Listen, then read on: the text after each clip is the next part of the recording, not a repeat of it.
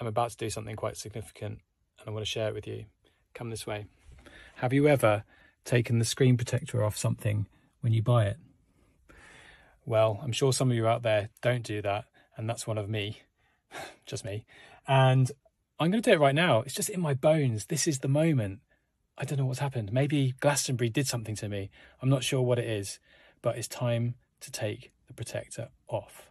Are you ready? Let's do this. Here it comes. Ooh, oh, yeah. oh, hang on a sec. There it is. It's happening. Oh my goodness me. Here it comes. Wow, look how clean that screen is underneath. That is a beautiful sound. Oh, it's off. Can't believe it, I've done it.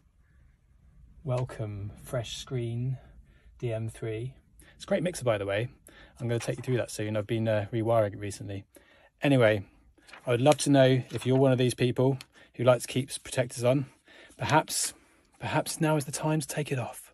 Have a good weekend.